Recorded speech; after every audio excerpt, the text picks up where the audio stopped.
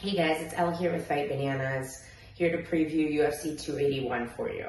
Um, so I'm just gonna go through it just like we were doing the podcast. Um, I'm gonna start with my best bet of the night, and that is Erin Blanchfield by decision. Uh, Erin Blanchfield is fighting Molly McCann. Um, we've seen Meatball and Molly have this uh, huge growth of hype recently from her spinning elbow knockout and her finish over Hannah Goldy.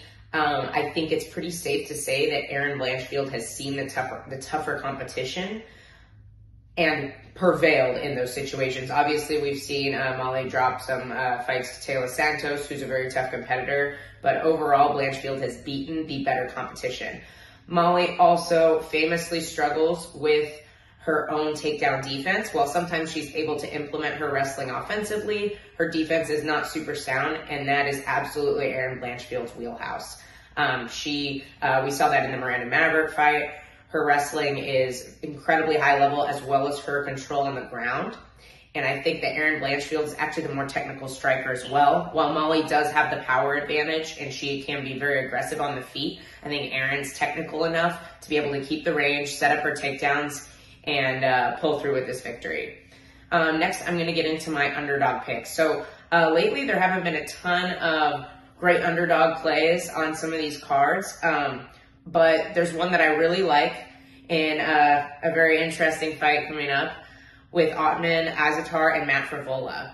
Um, Azaitar is coming off of a 27 month layoff after his uh, bag of potatoes incident in uh, on Fight Island, and I I think the the ring rust plus just the the step up in competition is going to be is going to be trouble for him. Matt Frevola is incredibly tough. We have seen him knocked out before, which is always a possibility with a guy like Ottman who has incredible power.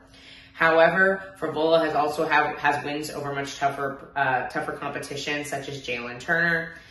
And I think that that just the pressure that Frevola can put on through three rounds as long as he can stay safe and maintain the range, I think that's a great underdog play. Um, I'll get into my three fight parlay as well. And then at the very end, I'm going to touch on the main event. Um, in this three fight parlay, I'm going to start with Montel Jackson over Julio Arce. So I really like both of these guys. They're both super exciting bantamweights. I love watching them. And Julio Arce has kind of become a little bit of a gatekeeper, not in a bad way, but I feel like a lot of people end up fighting Julio Arce on their come up. Um, and he, he does very well. He's an incredibly technical striker. He's great at setting traps. However, in the past, he has struggled with more physical guys who can, uh, who can actually, uh, who can power punch a little bit better than him. So I do think he's going to run into a similar story from Montel Jackson. So I'm taking Montel Jackson in this fight. Um, I think that the main, the the best way to beat Montel Jackson is to implement your grappling. And Julio Arce is typically not very keen to offensively wrestle in his fights. So I, I think we're going to see Montel in that fight. Second leg of my parlay, I have Dominick Reyes over Ryan Spann. Um, Spann is just not seen the level of competition in his UFC career that he's going to see from Dominick Reyes. Dominick Reyes has had historically fantastic takedown defense.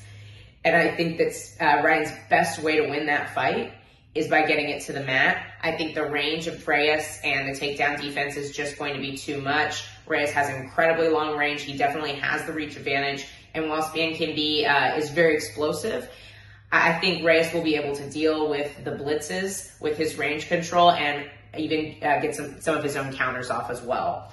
Um, the third leg of my parlay, I'm going to go to our co-main, and I have Dustin Poirier winning inside the distance. Um, Chandler absolutely has the ability to implement his wrestling and take Poirier down. He has an incredibly explosive double leg. However, I don't think he has the best control on the ground. We've seen in past fights, um, especially um, in his previous Bellator fights as well, where he creates these scrambles instead of uh, providing a lot of control on the on the mat. And I think I don't know that he'll be able to hold Dustin down. So while we may see him on top of Dustin for a round, I think he's going to get back to his feet. And I think the chin of Chandler is definitely going to be tested. Dustin not only has power, but he's incredibly accurate with his boxing. And I think that's the, just the boxing on the inside. He's going to end up clipping Michael Chandler. Last for my picks. I'm going to touch on the main event a little bit. This is such an interesting fight, and it's going to be incredibly exciting. I think uh, lately people have kind of looked at Izzy as becoming a very safe fighter. I don't think Alex Pereira is going to allow that to happen. He is going to put the pressure on Izzy. This is going to be an exciting fight because Pereira is going to make it that way.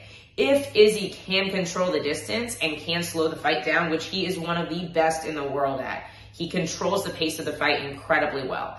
If he can do that, I think we're going to see Izzy um, win the decision, um, or even possibly catching Alex on the way in. I do think Alex's best chance of winning is going to be by finish. It, but if he doesn't clip Izzy, I think Izzy has that ability to move in and out within the range even better than Alex does. And he also has the grappling advantage here. I know we don't typically see Izzy uh, wrestling offensively, but he also has incredibly high fight IQ. And I think he will see